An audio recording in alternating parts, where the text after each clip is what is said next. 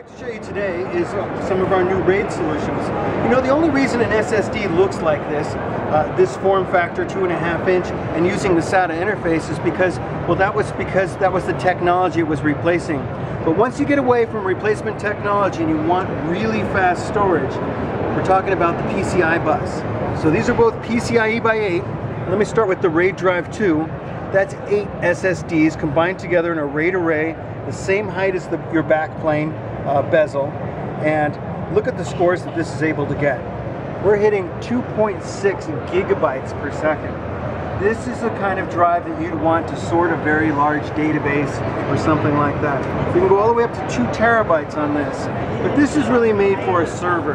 Nice. We had a lot of customers that said, you know, I want something like that, but just maybe a little bit more less expensive. So we've come out with this one. This is brand new. We call it the Upstream. It's four SSDs combined together in a RAID array and would be perfect for a workstation where you're doing rendering.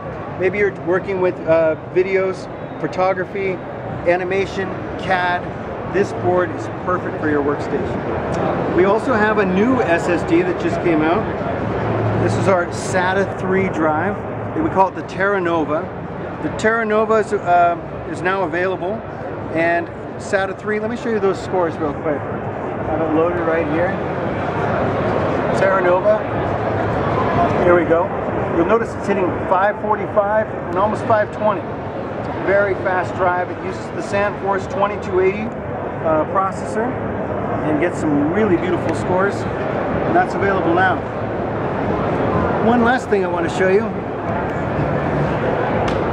USB 3.0 drives that have been very, very popular. This is the RC8, and this drive is really a solid state disk. Let me show that to you.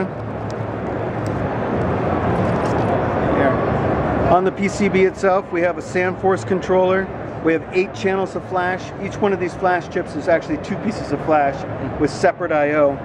This little drive now with a SATA 3 controller and uh, a SATA 3 to USB 3 interface, this drive will now hit over 300 megabytes per second. So that's the new generation of the RC8.